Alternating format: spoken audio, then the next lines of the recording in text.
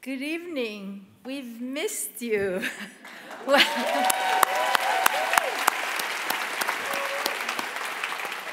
Welcome to the 46th Toronto International Film Festival. Welcome to all of you. We're thrilled to see you here. It's been a minute, hasn't it? uh, it's great to be back here in Roy Thomson Hall, and we want to thank all of you for helping us to get this all started. As you join us today, we encourage you to reflect on the land that we're on and its history this is sacred land where we gather today, and it's been the site of human activity for 15,000 years. We're located on the treaty lands and territory of the Mississaugas of the Credit and the traditional territory of the Anishinaabe, the Wendat, and the Haudenosaunee. This territory is within the lands that are protected by the Dish with One Spoon Wampum Belt Covenant, and it's home to many First Nations, Inuit, and Métis people, and we are so grateful to be here working and sharing this land.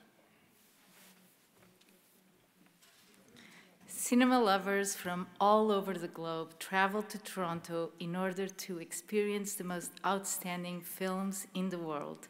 And yes, traveling over these last 18 months has not been easy, so we are especially thankful to be here with you, our wonderful TIFF audience at Roy Thomson Hall.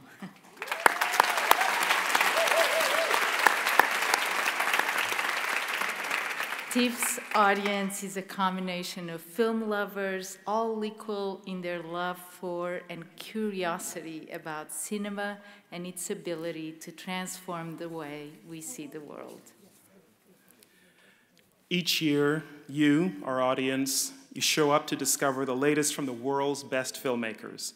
You're here for the actors that light up the screen, the artists who challenge us from every corner of the world, and the stories that transform how we look at life, each other, and ourselves.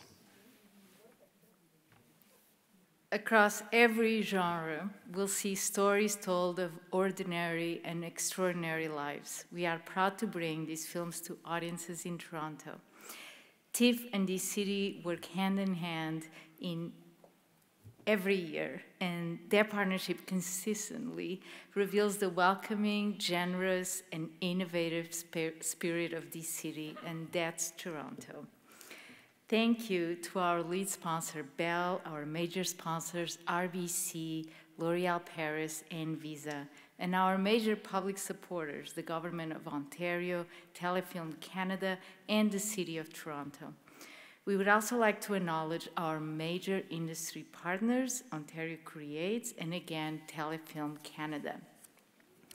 At TIFF, we talk about the power of film to transform the way we see the world, but we also know that not every story gets told. So this week, we launched Every Story, a fund to support diversity, equity, and inclusion in film. A very special thank you.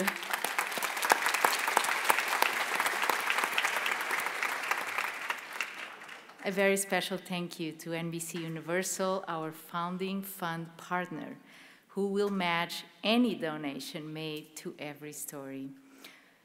We offer a heartfelt thank you to our wonderful, dedicated board of directors and to our tireless chair, Jennifer Tory.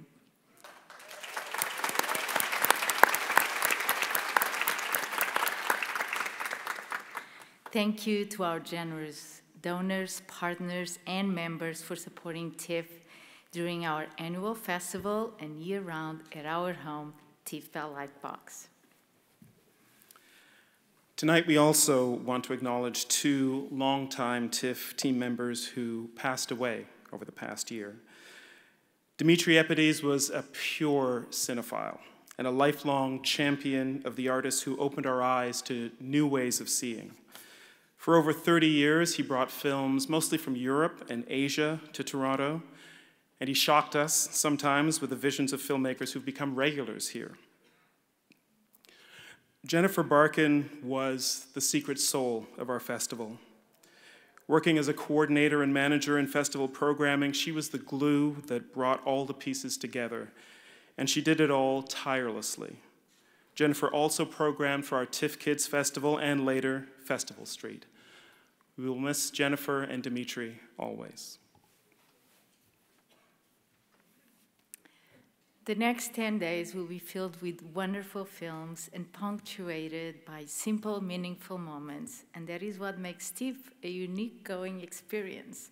Whether it's Ben Platt melting us with his magical voice, legendary Abenaki filmmaker Alanis Obomsawin, honoring audiences with a retrospective of her career, hearing your favorite director or actor talk about their craft, or enjoying an animated discussion at TIFF's industry conference. I can promise that this year everyone will have a special TIFF moment that will stay with you.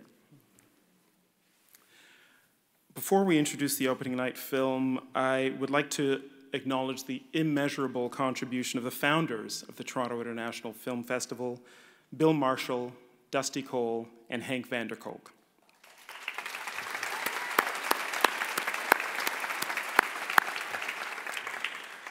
Without this group of determined entrepreneurs, these amazing gents, we wouldn't be here today. So thank you.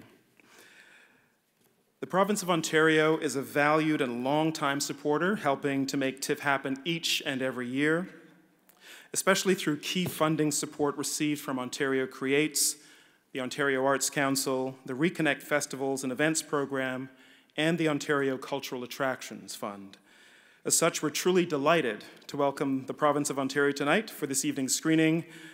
Please join me in welcoming an avid and outspoken champion of the arts and uh, an incredible woman, the Honorable Lisa MacLeod, Ontario Minister of Heritage, Sport, Tourism, and Culture Industries, to the stage. Thank Lisa. Thank you. Well, hello, everyone. So I'm 46 years old. And like everybody, I haven't had a birthday party in 18 months. And it occurs to me that tonight is Tiff's 46th birthday. And since they weren't able to have a proper 45th, I thought we could all wish them tonight a happy birthday. So before I get started, at the count of three, will you join me in wishing Tiff a happy birthday? Will you? You're way too quiet. You will? Okay. So on the count of three, we're going to yell out happy birthday, Tiff. One, two, three. Happy birthday, Tiff. Hey, it was a long time coming. It has been an incredibly difficult 18 months for the sectors that I represent here in Ontario in heritage sport, tourism, and culture industries. You know, pre pandemic, we boasted about this spectacular double bottom line. We drove $75 billion in economic activity, which was larger than agriculture, mining, and forestry put together, larger than the GDP of Manitoba, and larger than the GDP of most countries. But yeah, I love it because guess what? We aren't just an economic driver, we're also the reason we love to live where we live, whether that's in Toronto, the city I'm from, the city of Ottawa, or any other point in between in this great province. We represent culture, the arts, we represent sports and recreation, hospitality and tourism. Who has a favorite restaurant that they're finally glad they got to go to? I know you all do. And that type of cultural fabric, the society that we live in, that's also what this ministry drives. And that's why it's so important for us to be here together tonight. Now, Cameron and Joanna, I want to congratulate you for your resilience, your efforts, and we remained in constant contact during the last 18 months. And I knew from day one that uh, no matter what happened, TIFF would stand strong and would continue to be here to support all of the Canadian arts and culture sectors because of your drive and your commitment. And here we are on your 46th birthday. Exactly. And Cameron mentioned the, uh, the supports that he receives from my ministry, whether it's the Reconnect Festival and Event Program, Ontario Cultural uh, Events and, and uh, Foundation Fund, uh, through Ontario Creates and the Ontario Arts Council. And this year we're, provi- we're pleased to provide them $1.7 million so they can continue to have this hybrid event. But I got to tell you, as much as I love Ontario Place and I'm revitalizing it as the minister responsible, and it's great to have a drive in and drive through uh, opportunity there, it's so much better to be back here at Roy Thomson Hall, isn't it? And I'm really excited that there's going to be some Ontario productions, Oscar Peterson, of course, and Lakewood. But tonight we're here for uh, Evan and, uh, and all of those uh, that are going to be here to support this incredible movie. And I, I got to say, in, in reading about it and, and thinking about it, and as a mental health advocate myself, um, Evan Hansen is about soul searching. Um, it is profound.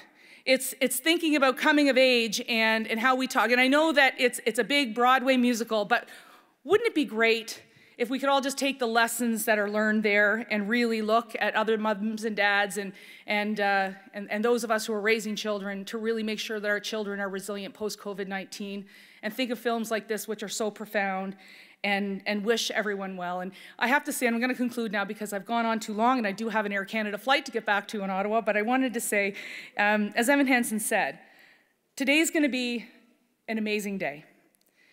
And I'm not going to quote him on Here's Why, but I am going to say to all of you, because we're back. It's great to be here with all of you. I hope you enjoy the festival. Congratulations to both of you, Cameron and, and, uh, and Joanna, and to all of the people that have made this happen. Next year, number 47, I promise, is going to be even bigger and better. Have a great day, everyone.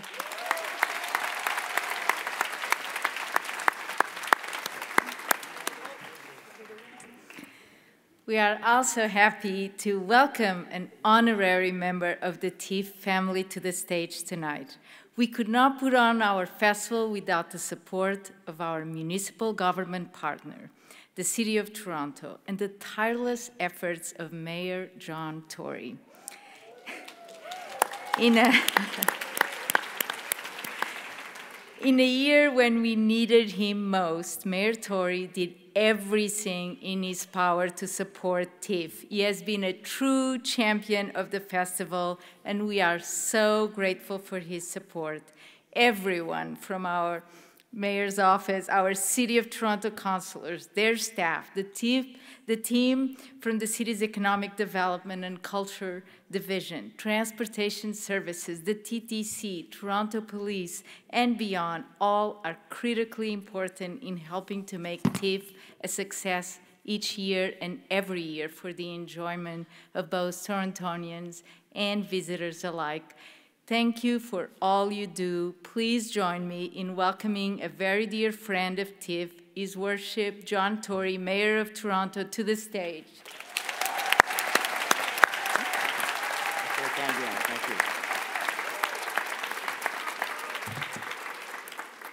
After that, Joanna, I have nothing to say, but um, uh, thank you uh, to you too. Uh, and, and I'll add my sister into that. I'm so proud of her. She's the chair of TIFF. It seems like a long way from the days when she used to chase me around the house with a hairbrush, uh, accusing me of, uh, of teasing her, which was unfounded allegations. But, you know, TIFF is something that it's easy to be proud of and easy to support because it is so important to the city. And I think it's been especially important. It is especially important uh, in a year like this when we've just been through uh, the pandemic. We haven't been able to do the things that we enjoy, uh, being together, whether it's out on the street, uh, awaiting uh, some of the uh, people who grace us with their presence in town during TIFF, or being inside here watching movies together. there were simpler things than that that we treasure so much, being with family and so on, that we, we just couldn't do for so long. And so I'm so happy that they had the courage and the gumption, because they talked with me about it and many others in the spring to say, we're going to move ahead and do uh, TIFF, and it's going to be different than last year, and that we're moving ourselves back to what I just uh, said on the red carpet was the big enchilada that we'll have back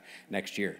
But but uh, these two leaders, we're so blessed to have them uh, as as a part of the sort of cultural fabric of our city. And film, you know, film is so important uh, to Toronto. Um, it's, it's important in the production end where we're doing as much as we've ever done, and, and that brings so many talented people to the city, but they join all the talented people that are here if you went abroad, and some of you I'm sure have been abroad, but I end up talking about the film industry to promote this as a place to produce movies and heard what people say about our talented people that produce films here and that perform every job uh, in the production of, of, films here, you'd be very proud of that. And of course, everywhere I go uh, representing the city and trying to attract investment and jobs, the one thing they know, there's several things they know more than you might think about Toronto, they know about TIFF and it's something to be extremely proud of. And it's to be proud of because it's the People's Film Festival. It brings people together. It celebrates artistry, including Canadian artistry, which is very important.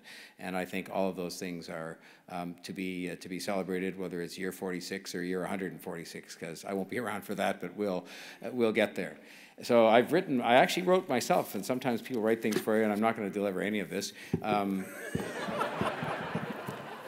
no, in this case, I didn't throw away somebody else's speech. I actually threw my own speech away. But I just want to say this. Um, this is a city, I just, and I know, I hope you all feel this way.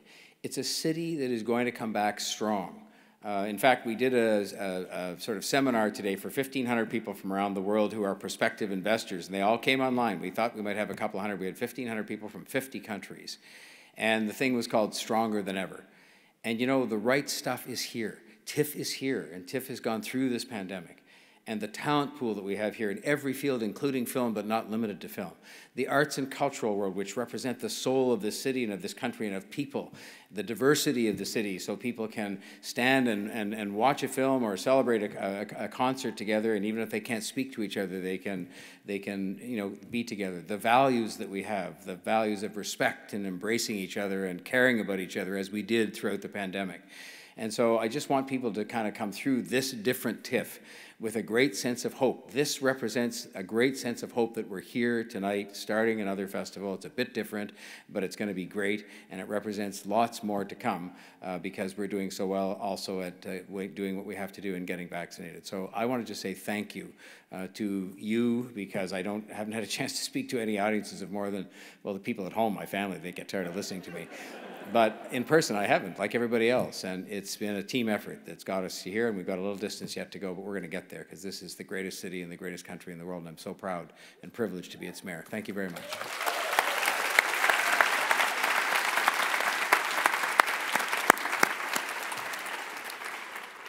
Thank you, Mayor Tory, uh, and I love that message of hope. Um, I hope that if you are still getting used to wearing heels or hard pants, that you're still comfortable because it's been a while since we had to do that.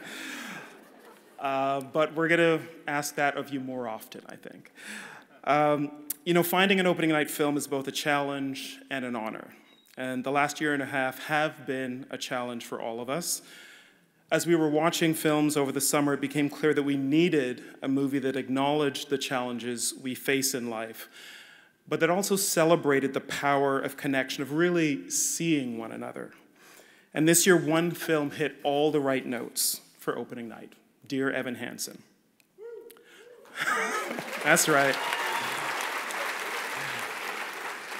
Directed by Stephen Chbosky, Dear Evan Hansen is based on the award winning Broadway phenomenon. It stars Tony winner Ben Platt as Evan along with Amy Adams, Julianne Moore, Kaitlyn Dever, Amandla Stenberg, Nik Dodani, uh, so many more. It is just a wonderful film.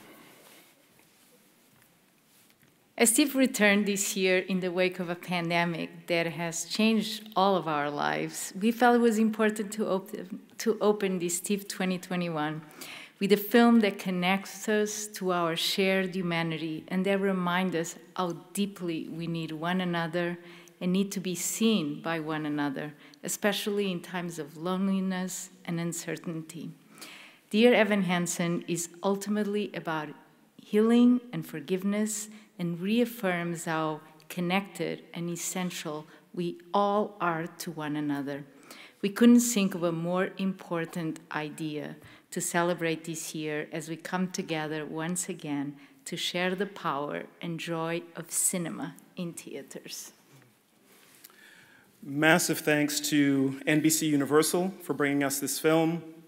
And now we couldn't be prouder to present the world premiere of Dear Evan Hansen. So please join me in welcoming director Stephen Chbosky, screenwriter and author of the musical Steven Levenson, producer Adam Siegel, actors Colton Ryan, Danny Pino, Nik Dodani, Amandla Stenberg, Julianne Moore. Get out here, people.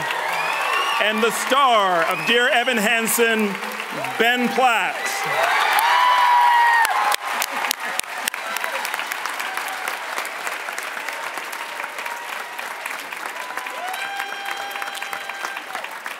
Hello, Toronto. I agree. Um, I, have, I have to say uh, once more for this amazing cast. Thank you. Um, so I want to thank, uh, uh, quick personal story. So nine years ago, I brought my very first studio movie. It was called The Perks of Being a Wallflower, and I premiered it. Thank you. I premiered it here at the Toronto International Film Festival, and it was a night that changed my life. It was the opening, the world premiere was right here, and I never forgot that experience. I love this city. I've had the greatest times in this city. I've been here many, many times, so it feels like coming home for me personally. But I, yeah, thank you very much.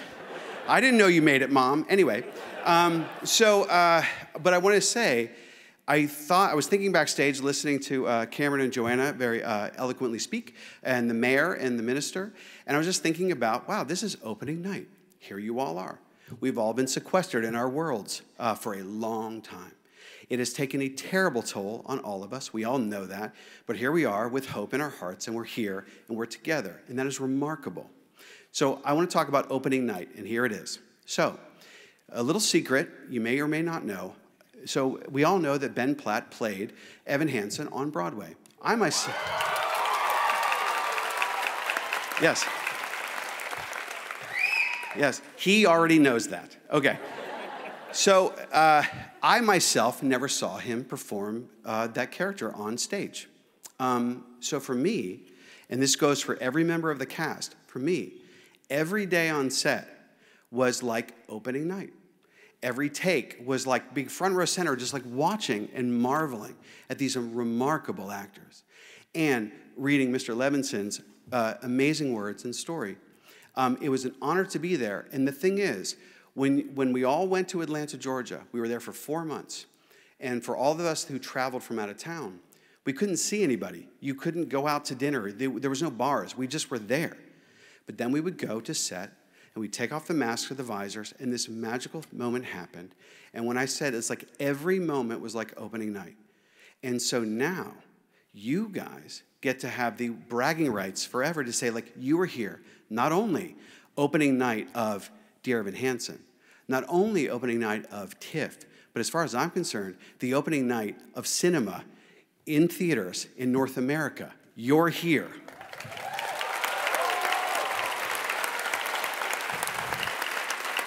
So, so thank you for, for being here. Thank you so much for having us. It is an honor to be the opening night film.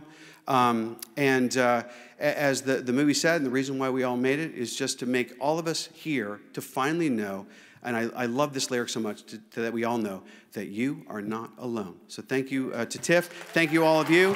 And uh, I hope you enjoy the show. Thank you.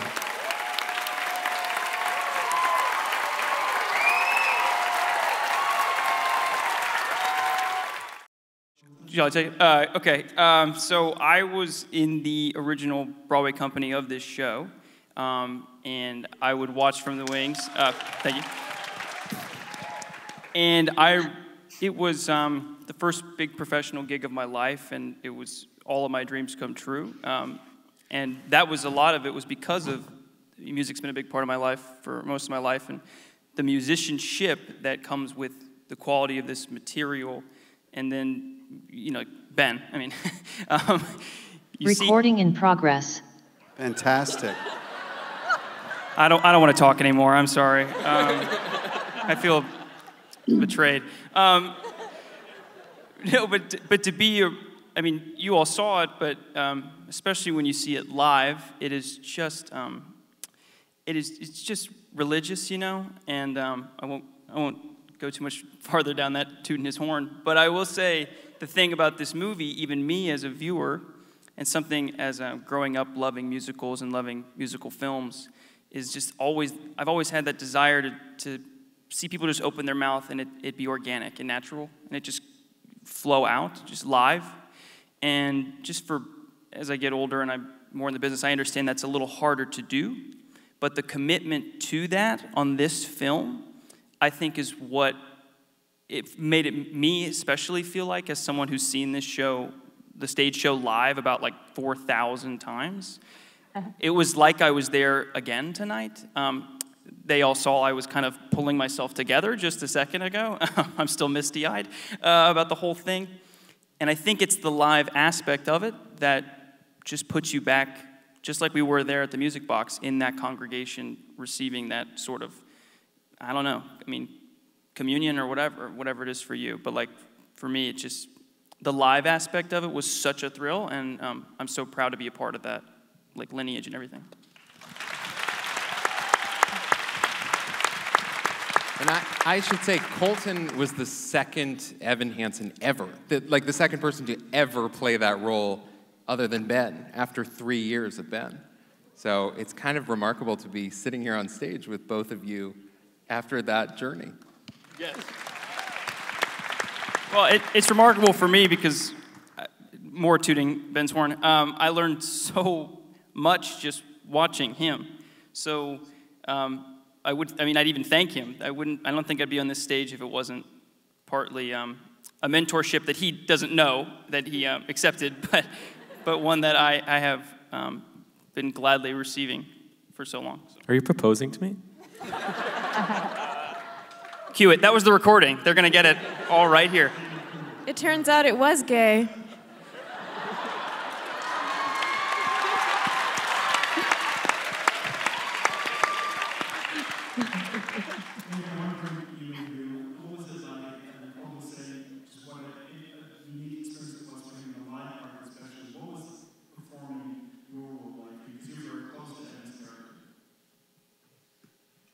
Who, me?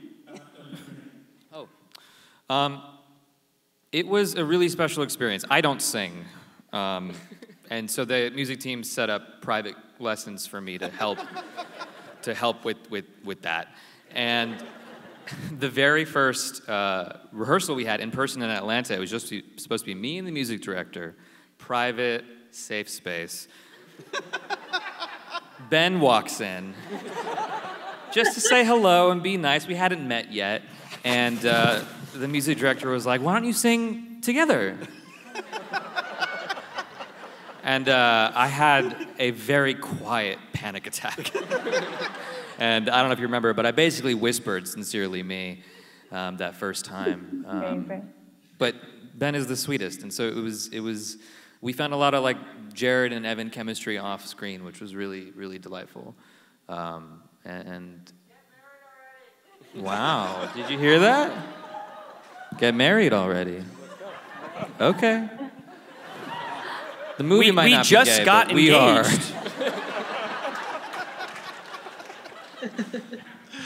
Patience, please. Come on. Uh, Steven Levenson, uh, I wanted to ask you what it was like to see something that you had worked on for so many years and, and through that incredibly successful Tony Award winning run on Broadway, see that become a film. And also, was that a, a challenge to kind of let some of that, that control go and, and let it into the hands of the filmmakers? Yeah, I mean, it was, it was certainly a challenge and a thrill, I have to say. You know, part of the reason I think you write a musical in the first place, or you know, you find out really quickly whether it's right for you, is if you are into the idea of collaboration, because it is such a collaborative uh, medium. And for me, this was really an extension of that. It was an opportunity to collaborate with more people, a bigger team. Um, but it was certainly, I mean, it was hugely thrilling to get to see it come to life on the screen and to get to see it on this screen uh, and mostly to get to work with this company of actors. I mean, they're just there's nobody better, and to get to see them bring this material to life was was just every day was a thrill and incredible, especially in those dark days of the pandemic. Uh, getting to show up to work every day and, and watch them come to life was was was everything.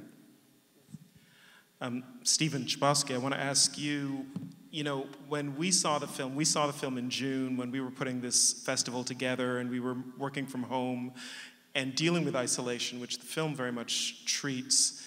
And what I loved, what we all loved, uh, those of us who saw it, was that it's really sincere in addressing how hard and how painful it can be to feel alone, to feel like you can't tell people what is in your deepest heart.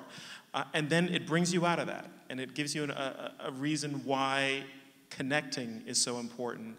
Um, and you know, whenever you're sincere in any art form, that there's a risk to that. You're really putting yourself on the line. And I wanted to ask you about the tone of the film, maintaining what was already in the play, and and just any risk you felt in terms of just you know putting your heart out there. Um, I didn't. I didn't particularly feel a risk with it. I, uh, you know, um, I came to it because I, I just simply love the show, like a lot of other people love the show.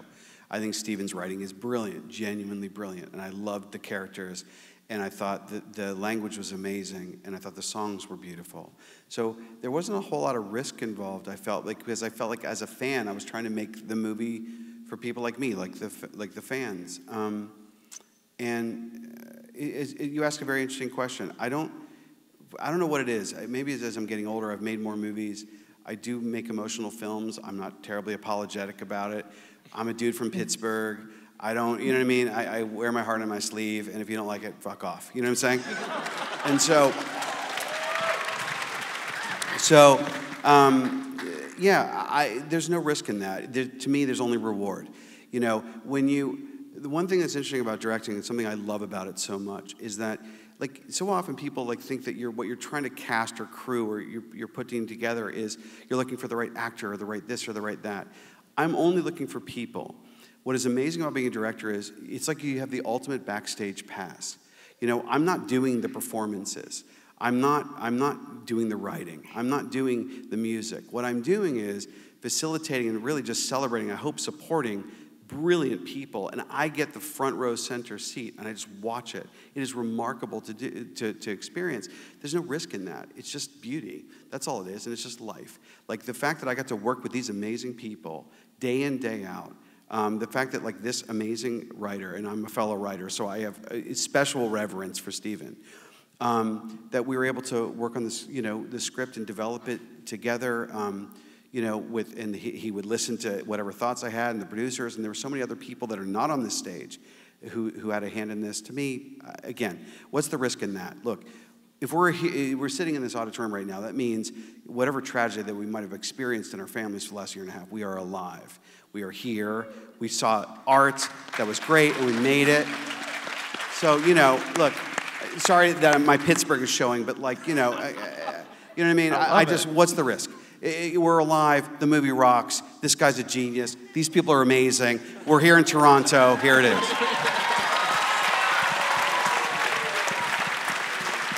I love a little Pittsburgh.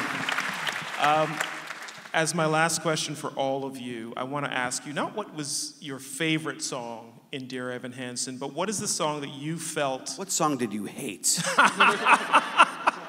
no. What song did you feel best express something about you? What did you most connect with? Uh, as whether it's the music or the lyrics or the combination, what song did you connect with most? And can we go to Roma? Kaitlyn, are you there still? All right. I am here. Hello.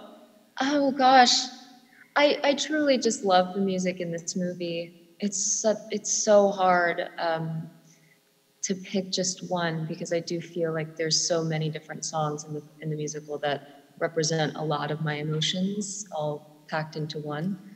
Um, I'd say uh, I guess Requiem was was. Um, I think my favorite one to sing and my favorite to listen to and my favorite to watch when I saw it on Broadway.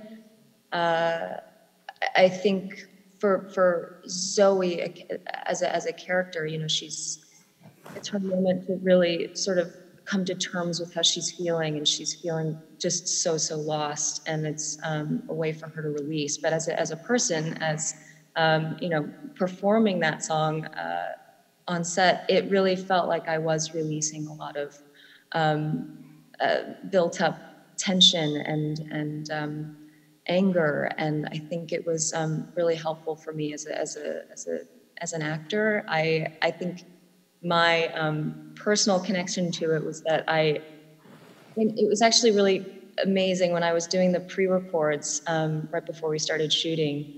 I, I, I really overcame like a lot of my own personal fears, um, and I was all of a sudden like unafraid to just fall if I needed to fall, or um, you know, I, I it was a really, really uh, eye-opening experience performing that song, and then seeing it in the film um, with Danny and Amy and all of us getting to sing together in rehearsal. Um, it was like really, really, really special to be able um, to experience those emotions with the two of them. They're just so brilliant, and I love them so much. So Requiem would probably be my my favorite because it's just a it's such a beautifully written song, and I love that. Um, you know, uh, all of the music in this musical, but but really the the, the dialogue um, and the lyrics like blend so so beautifully.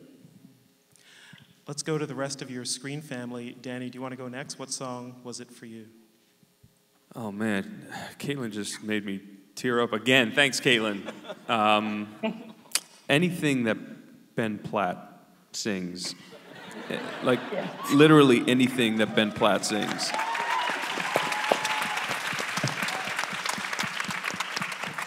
Um, man, there's so many songs in this movie that the first chord plays, and I'm already losing water weight, right? Like the, the tears start to, to stream. Um, man, Sincerely Me, uh, I think lifts the whole thing. And it, it sets this, this movie, this show, on a path of like, high school should be fun. This should be fun. And look what we're dealing with. Um, yeah. So that always hits me. Um, so big, so small destroys me. I mean, it just, I, I can't. I, I have to crawl out of the theater after How did that. you get through making this movie? These Man. were really hard on you. No, it's, it's, it's, it's tough. And, and Colton, you know, the hope that Colton sings with, uh, and knowing what happens to Connor, that, that is really difficult to deal with. Uh, but if I had to pick a song that influenced me the most, it's a song that's not even in the movie. It's uh, To Break in a Glove, which is, yeah. Which it's, it's in the, Broadway show, but uh, did not make the film. But I, I learned it because I wanted it to influence the scene that Ben and I played with the baseball glove. And, you know, that, that missed opportunity to play catch. Uh, I needed to, I have two sons, and so to understand that and to pay the price for, uh, pay the price to play that scene, I felt that learning that song was the price I had to pay to play that scene the way it deserved to be played. And so I love that song, even though no one will ever hear me sing it. Uh, Uh-huh. it, it lives inside of me anyway. That's, that's my really long winded answer. Thank you. Thank you. Um, this is really bringing something out. So, um, I, I, Amy, I do want to go to you next. I, I kind of wanted to get a sense from the family, but maybe we'll do more of a kind of a lightning round to get a sense of just what song You- touched you, what song moved you. I Danny, messed it all we up, I loved your know. answer, man. You got it. I'll go fast. We loved it. We Um, loved it. So, of course, so big, so small. I'm I'm a mom, and when I saw that in the theater, I I I'd made it through the whole show. I was really trying to be brave because I hate crying in public. And when they sang that song, I was like, "You guys are just mean. That's just mean. It's so beautiful and so poignant." But in filming, I'm going with For Forever, and anyone who was there with me will attest. It was like three days. I just couldn't stop crying. I realized what the song um, meant to Cynthia, and to hear I'll start crying again to hear Ben sing it uh, for days on end and just the depth of, of um, in hope and him creating a friend for himself while he's also giving me my son. It's, it's a beautiful moment, and so I'm going for forever. So. Thank you, Amy. Colton, what about you?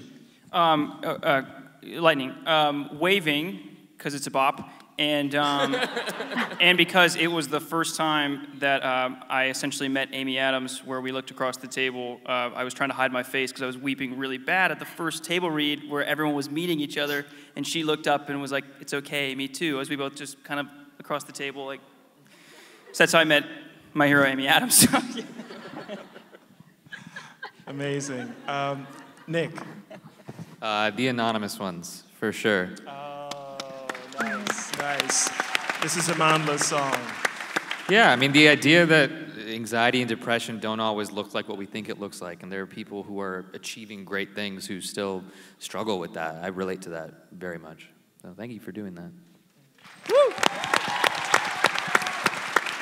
It's such a beautiful song. Amanda, let's go to you next. What song, maybe it is the anonymous ones or another one that, that really um, you connected with? I'm not about to say my own song. Crazy. You can say your own song, it's all right. Um, my answer changes every time, but I think today I'll say for forever as well. Because um, seeing that imaginary relationship between Connor and Evan just really murders me. Um, these people who are both so in need of connection and love, and, and this imaginary scenario in which they find it is like what I hope for everybody. Um, and so, yeah, it just really moves me. And I hope that this film provides that space and that opportunity for people to feel seen and not alone and to find friendship um, and, yeah, to feel loved by it. Um, so, yeah, for forever today. Beautiful.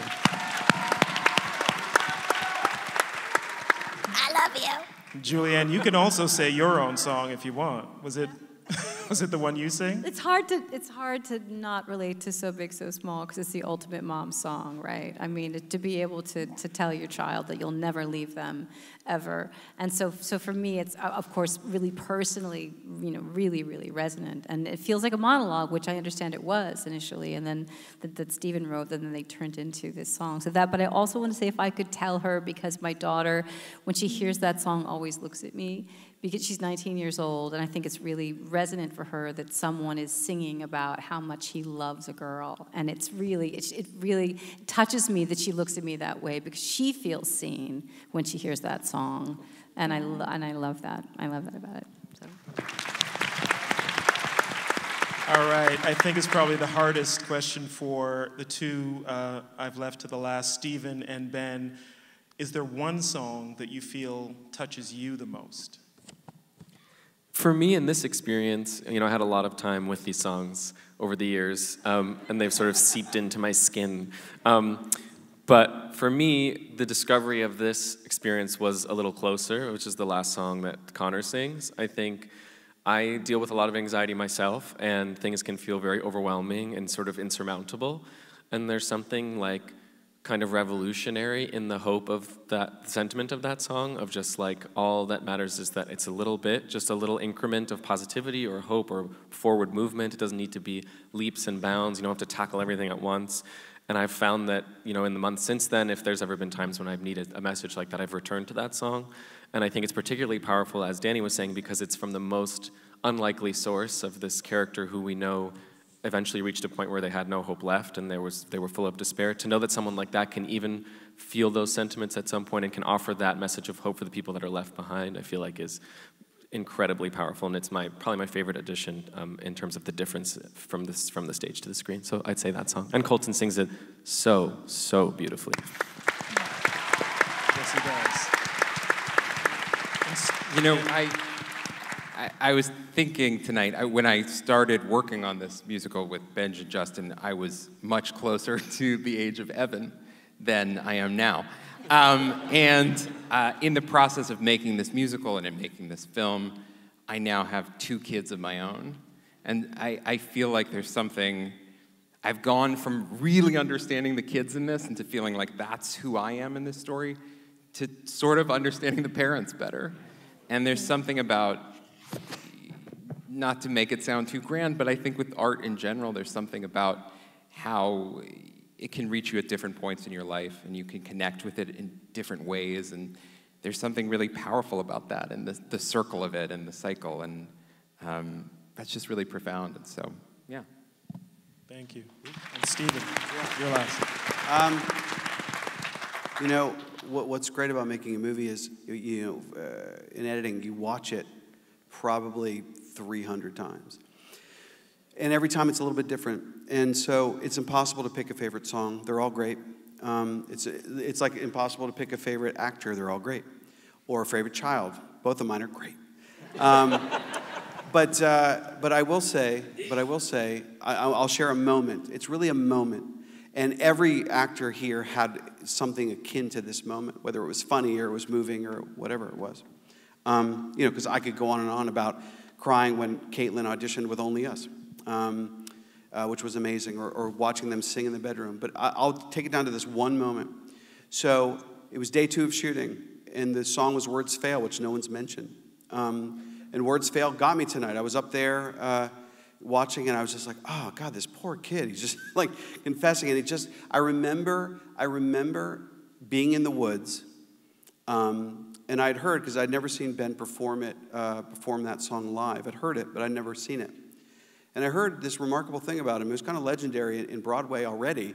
I was like, oh yeah, this guy, man. You know, I heard it. It's like I didn't know anything about you. It was like, oh, this guy, he can like have a breakdown and then sing with an open throat, and then he can like cry, and then he can sing delicately, and it's like, it's like physiologically impossible what this he does.